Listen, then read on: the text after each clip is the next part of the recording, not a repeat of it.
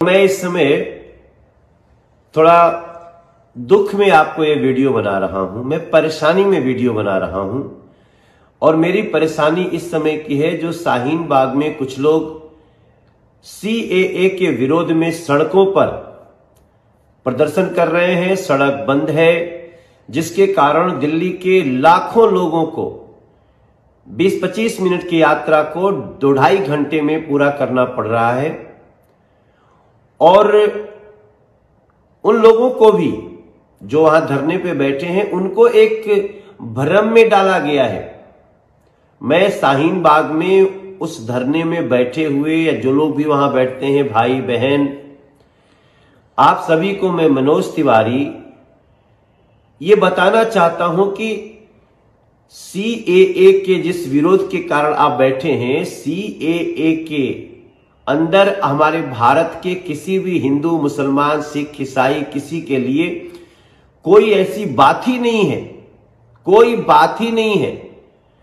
ये तो सिर्फ़ 2014 तक कुछ लोग जो पाकिस्तान से और बांग्लादेश से, अफ़गानिस्तान से आए, उन लोगों को नागरिकता देने का एक कानून बना है। किसी की नागरिकता छीनने का नहीं।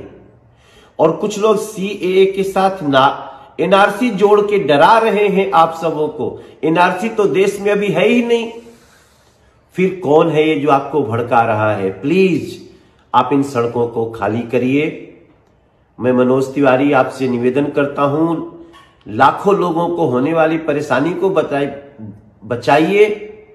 और आप अपने प्रति भी लोगों को एक अच्छा संदेश दीजिए कि आप चीज़ों को समझते हैं। अब कायदे से तो यहाँ अरविंद केजरीवाल जी को आकर के आपसे प्रार्थना करना चाहिए था। लेकिन अरविंद केजरीवाल जी को अगर किसी का 20 मिनट का समय ढाई घंटे में यात्रा में जा रहा है तो तो एंजॉय करेंगे, वो तो खुशी होगी अरविंद केजरीवाल को ये देखो देखो देखो, दिल्ली के लोग परेशान हो रहे हैं। क्योंकि उनको तो पता ही नहीं होगी ना कि परेशानी क्यों है। उनको कुछ भी नहीं पता है। न उनको ये पता है कि प्रदूषण कैसे होता है, न उनको ये पता है कि गली सड़कों में गड्ढे कैसे हो जा रहे हैं, न उनको ये पता है कि पानी कैसे गंदा हो जा रहा है, उनको कुछ नहीं पता, इसलिए उनको ये भी नहीं पता भैया कि शाहीन बाग में लोग जो बैठे हैं वो क्यों बैठे हैं। लेकिन मैं सुन रहा हूँ, लगातार सुन रहा हूँ, आज मैंने आपसे प्रार्थना किया है, आप प्लीज़ शाहीन बाग में जो सड़क पे बैठे हैं, अगर आपके कुछ ऐसे इश्यूज़ हो तो आप वहाँ से आओ, हम आपसे मिलने के लिए तैयार बैठे मेरे घर आओ, किसी प्रतिनिधि को भेजो। हम बैठ के, हम हज़ारों मुस्लिम भाइयों को बैठ के समझा चुके हैं, अपने घर जाके शांति से बैठे हैं। आप आ जाइए, नहीं तो आप उस जगह को खाली कर दीजिए, ताकि दिल्ली के अन्य नागरिकों को यह सुविधा ना हो, और पुलिस से भी हम निवेदन करेंगे कि आप लोगों को समझा बुझाकर उस रोड को जल्दी से जल्दी खुलवाने की कोशिश करें। क्योंकि अरविंद केजरीवाल दिल्ली के मुख्यमंत्री से आप अपेक्षा करिएगा, वो आके कुछ कहेंगे। वो तो उनको जितना मज़ा लोगों को परेशान करने में आता है, वो निदान में नहीं आता उनको।